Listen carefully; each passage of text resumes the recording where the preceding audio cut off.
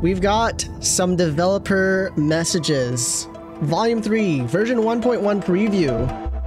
Oh, that's that goes loud. Okay, hold up. I need to maintain the volume. So yeah, they're giving us a preview for 1.1. I still hope they do like a live stream type of thing, but this is also really helpful. So we're going to read all of it and make sure we understand all of it.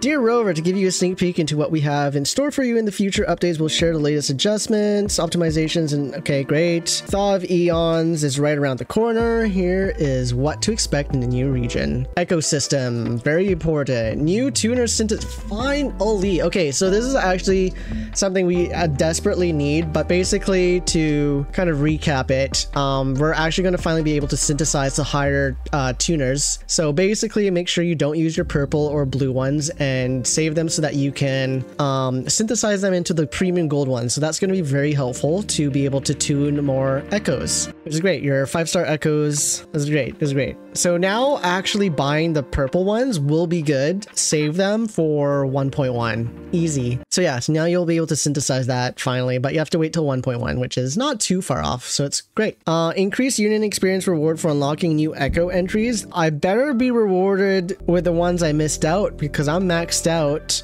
with union uh, with uh, my data bank. Unlocked late game content earlier for all players. We have introduced Union Experience reward for unlocking new entries for yeah, great. Additionally, we will retrospect rewards for Union Experience echoes. Oh, there we go. Union Experience for number of echoes entries you have unlocked during the one point. Perfect. Great. Okay, now you answered my question. The compensation will be distributed via in-game mail. Make sure to check your mail to claim the rewards in time. There you go. That's important for people that are already at DB20. Higher cost range for echoes rewarded for activity points. We've heard your feedback. Okay. The cost of range of echo reward by gaining required activity points and guidebooks to improve your experience. We have removed cost one echoes. Okay, basically, uh, when we do our daily commissions and you get that 2000 uh, union level experience, you you are given a an echo, but sometimes you can get a cost one echo, which is kind of garbage. So now we're only going to be getting cost three and four echoes, which is great. Databank level cap raised. Hello? Will be raised to 21, so they're adding a new level. All echoes drop will be guaranteed guaranteed to be a five star rarity. So 100% five star rarity. You know, you will no longer be pulling for purples, which is great because 80 20, although great, I absolutely rage inside ever so slightly every time I get a purple one. I like this. Uh, new fun and mount firmament echo transformation. Oh, there's a new echo? Wait, wait. Get ready for In select areas of Mount uh, Firmament, you can now transform into Echo Clang Bang. The echo's called Clang Bang. It looks like that uh, that bomb penguin Pokemon. It, rem it, reminds me of that ever so slightly. I don't know why. They look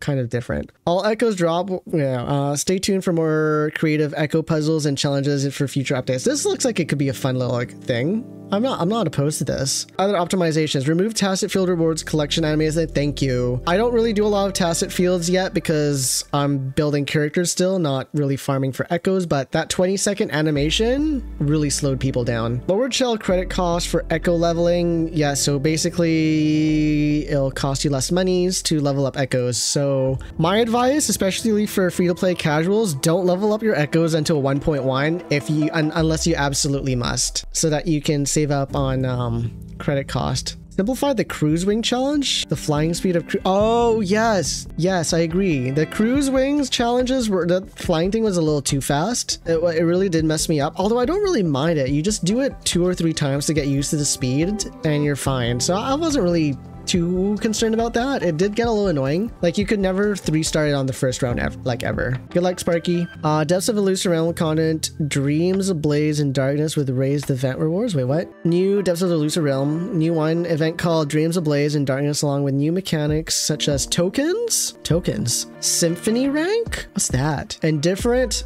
meme meme tick? Meme memetic? Tuning available for you to create your own powerful build. Nice. Furthermore, more the total event rewards will be increased to a thousand Astrites. That's 600 away from a pole, a 10 pole. Okay. I mean, Depths of the Elusive Realm is pretty easy. So I think this is pretty generous unless they're making it harder with this system. Create your own powerful build. Does that include like our echoes? Interesting. Increase convene item version exchange limit in the item exchange oscillated coral store. Wait, what? You may redeem up to seven of each of the following convene items: radiant ties, forging ties, luster ties, in each installment. Of, wait, this is an increase from what it was before, right? I think you could only do five, and now they've increased it by a bit. Preview of other special events and tweaks mentioned above will also be bringing a bunch of other cool events. Seven day login events coming back. Let's go. Gifts of Celestial Light. The featured commissions Lolo campaign. That I don't know what that means. Re future. Okay, so they're just naming all the new events coming in 1.1, which a lot of them don't mean much except for the seven day login. Stay tuned for our official announcement uh, for more event details. Is this like going to be a tweet or are you talking about the special your live stream? Make do a live stream. Map exploration system. Layered map. Due to complexity of version 1.1, new map will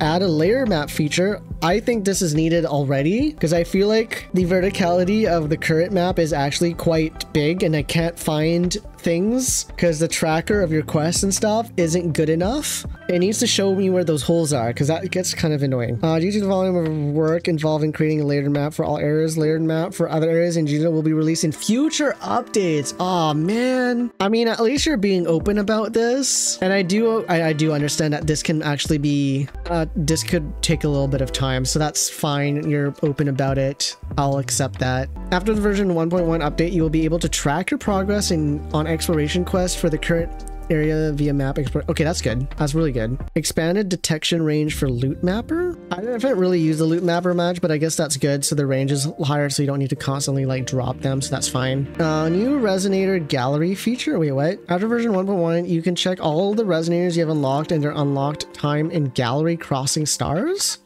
Oh, this is probably going to look like what we do when we look at the echoes in the data bank. That's gonna be my guess. Cool. Better be having some cool or otherwise poses. New story dialogue gallery feature. After version 1.5, you can check all dialogues of completed main quests and companions. Oh gosh, just a text? I'm not gonna be doing that on stream. I mean, if it was cutscenes, maybe. I mean, is this their way of fixing the fact that sometimes the dial you don't get to see the full text of dialogue and it misses out on that? Because that was like, ooh, that was a little rough. It's an, yeah, more archival stuff. Level requirements lowered for some main quests. Okay, that's cool. So now this will help prog progression um, happen a lot faster and then you'll be able to get rewards even faster. So that's cool as their stories get more complex. More number and types of guidebook activity points quests. We've heard from... So with version 1.1, uh, will inc will increase the variety of number of daily... Oh, okay. So does it rotate amongst more or are they giving us more options so that we don't repeat the same thing over and over again? I mean, I'm always going to do the daily quest among the other things. New combat style tags.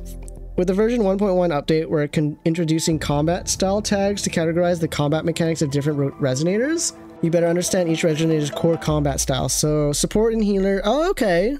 Oh, interesting. I hope they don't mess up there, now, there's a very reasonable chance that they'll think a character is this way, but not consider other ways of playing that character that could end up being better that the player base have discovered, but we'll see how that goes. New chat system style. You can make chat... Okay, I don't really care about that. The chat will display uh, at a half screen height after the... Wait, what? Okay, I hope there's a easier way to like close it. Controller mode interaction optimization, add a new camera adjustment setting for the controller mode. Hey, that's me. It's for me. You can now invert the horizontal and vertical camera controls under settings if you want to. Okay, whatever. Uh, change the controller mode shortcut key. Open chat is now open map. I actually like that. I'm gonna have to remember that. Enabled key remapping. Ooh, wait, wait, wait. Enabled key remapping for certain buttons on Sony PlayStation controllers, making it consistent with the remapping option available for Xbox. Wait, wait. Am I gonna have to like relearn how to play the game with this?